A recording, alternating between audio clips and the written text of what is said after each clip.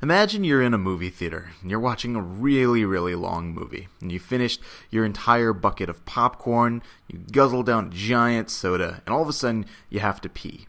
And to make matters worse, you're watching a movie about a whole bunch of people on a cruise ship that hit an iceberg, and so there's a lot of water in this movie, and you freak out because now you have to get up and go to the bathroom. But then that should get you thinking, well, how do my kidneys work? How is it that I can make all this pee that I gotta get rid of? Well, in the next few videos, we're going to talk about how the kidneys work. And I'll give a quick overview here before we delve more into the specifics. As you can see, the kidneys sit right here around your belly button. They're about the size of a fist, and you've got two of them. And they sit a little closer to the back, not really in the front. So the kidneys receive blood from the heart. So the heart goes on up here. It's also about the size of a fist, and it pumps blood throughout the body. You know, you get some to your arms, you have some that goes up to your brain, and you have this branch that comes down and it goes towards your legs as well. Well, what you can kind of see in the picture of the kidneys right here is that they've got a little vessel right there. So sure enough, there's some blood that comes from the heart into the kidneys. Both of your kidneys then are going to filter the blood and release urine, which is just a collection of waste products that your body wants to get rid of. And the urine's going to hang out in your bladder that sits about right here until it's an appropriate time to go to the bathroom. And that's kind of a broad overview, but let's go into a little more detail about what the kidneys do. So I'm going to draw a box over here, and this box is going to be what the kidneys do. So I'm going to give just a really simplistic overview of what the kidneys do, and then in other videos we'll go dive deeper into detail. So as I mentioned, each of your kidneys gets an oxygenated blood vessel or an artery that goes to them. And your arteries hold on to all the things in your blood. And this can include things like your nutrients. And so nutrients can be anything from, say, your electrolytes, like your sodium ions. They can be things like your proteins or your amino acids or even glucose as well. Things that build your carbohydrates. So, a lot of things that your body uses as the building blocks or things that help other structures of your body work. So, in addition to your nutrients, you've also got oxygen hanging out in your arterial blood.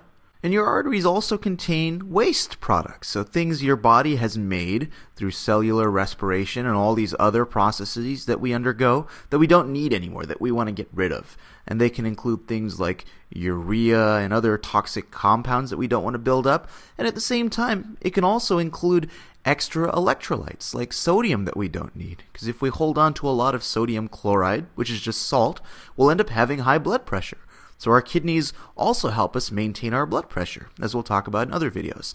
So this just kind of underlines the point that if you have too much of your nutrients, they become waste products. And so your kidneys help to make sure you don't build too much of this good stuff here.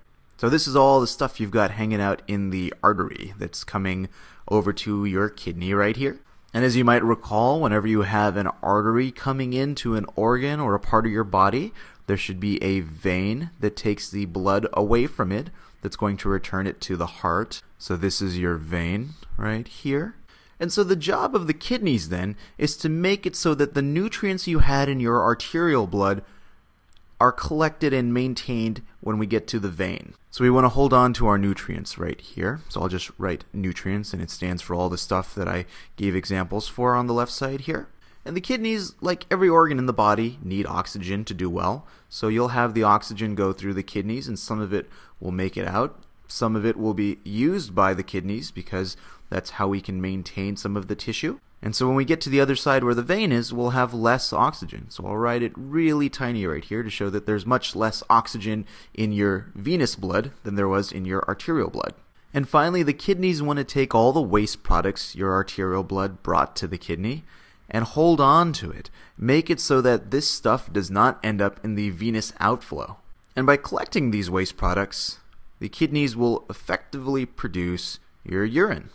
Now, you might notice in this picture that I'm missing something. What connects the artery to the vein? Well, actually, what goes on here is part of what makes the kidney so special, and it answers the how. How is it that the kidneys are able to do this? How is it that the kidneys can help us maintain our nutrients in our body while getting rid of waste into urine? Well, the kidney is special because it's got two capillary beds. I think you might have heard what a capillary is before, right? A capillary bed is just something that connects the artery and the vein. It's where you can have oxygen flow out, you can have nutrients flow in. So the way I'll draw it is that you've got one capillary bed right here connecting your artery to your vein like that, and you've got another one down here connecting those two. And so these guys work together to deliver oxygen to the kidney's tissue and at the same time recollect these nutrients so that the vein can take these nutrients elsewhere in the body for use. And these capillary beds have two fancy names. The first one is called the vasa recta. The vasa recta, and that's mainly to give oxygen to the kidneys. The other set of capillaries are called peritubular capillaries. Peritubular capillaries, and we'll talk way more into detail about these peritubular capillaries. And these are the guys that are mainly going to be responsible for collecting nutrients that our kidneys will filter. And we'll talk more about that process in the next few videos.